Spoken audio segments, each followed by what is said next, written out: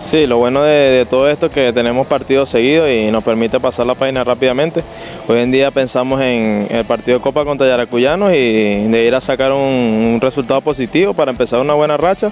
y venir a casa pensando en, ganar el sábado contra Metropolitano. No, para nada, sigo creyendo en, el trabajo del equipo, la filosofía de juego que tiene el profesor Tony, sigo confiando en las capacidades que tengo, sé que, que el gol va a llegar en cualquier momento y toca seguir trabajando, mejorando en lo que se pueda para poder aportarle al grupo en, el campo. No, la unión que ha tenido el, grupo a pesar de, los resultados que hemos, que hemos conseguido, no hemos, no hemos tenido los resultados que, que, habíamos pensado al principio del torneo, pero bueno, toca eh, ponerle el pecho a esto, eh, trabajar bastante, mejorar en lo, en lo que se pueda y seguir creciendo en lo futbolístico para que podamos lograr cada uno de los resultados que nos propongamos.